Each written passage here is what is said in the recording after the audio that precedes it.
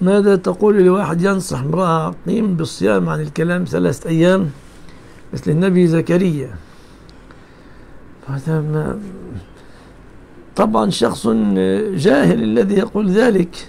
يقول لامرأة قيم تريد أن تنجبي؟ صنع الكلام ثلاثة أيام مثل سيدنا زكريا. ما ما أرشد زكريا للصوم ثلاثة أيام حتى حتى ينجب. إنما هو يسأل ربه لما بشره الله سبحانه. إن نبشرك بغلام اسمه يحيى. سأل ربه يعني يا رب أريد علامة على أن زوجتي حملت. أريد علامة على أن زوجتي حملت.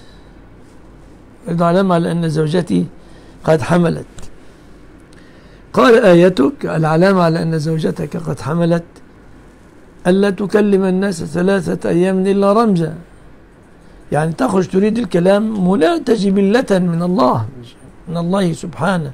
يعني تمنع من الكلام جبلة من الله الله يمنعك من الكلام إلا في بذكر الله. فهو لم يكن صائما عن الكلام الله هو الذي منعه كعلامة على أن الزوجة قد حملت.